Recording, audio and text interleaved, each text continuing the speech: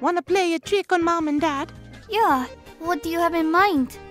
You know how sometimes twins are hard to tell apart? Oh, I see where you're going with this. Hey, Mom, Dad, Guess, guess who's who's who? who? Ah! Peter, what, what did you do to your hair? Marc dyed it so we could trick you guys. But we don't have any hair dye. Yeah, I know.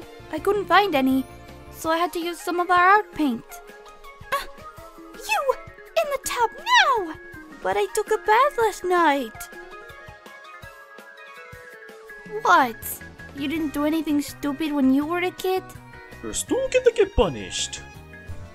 Okie dokie, ready to start swimming by yourself? Not really.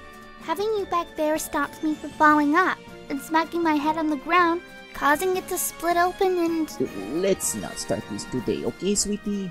Start pumping your legs, Laura. Oh, oh. See? you gotta keep up the momentum. Well, she certainly got into the swing of things, eh?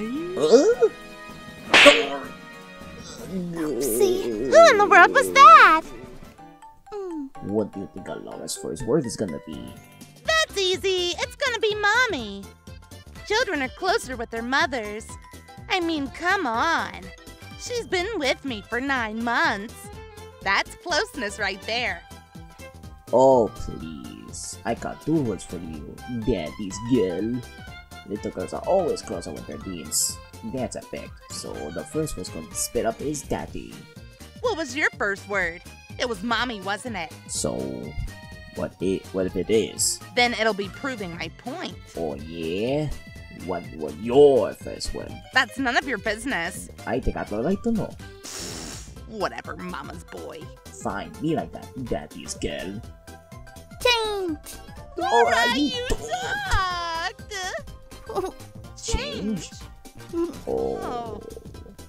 Well, since mother and the child are closer, What happened to daddy's girl?